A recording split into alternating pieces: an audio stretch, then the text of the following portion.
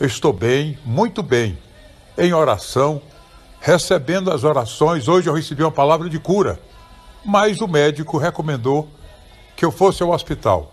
Devido à idade, diabetes, eu tive problemas no passado com tabagismo e os cuidados recomendam o meu internamento, mesmo estando bem, com boa saturação, com boa saúde.